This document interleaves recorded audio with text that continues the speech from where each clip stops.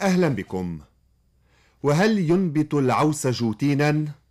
ففي عين التين تبحث اللجنة الخماسية عن ثمار جهود ليست أكيدة فمن يتذكر رئاسة الجمهورية وسط المدافع التي تقترب شيئا فشيئا من إعلان حرب باتت معلنة بالفعل بالرغم من خشية جميع الأطراف المحلية والإقليمية والدولية من تداعياتها على اللبنانيين والعالم. فماذا سيقولون للسيد حسن في أذن الرئيس بري؟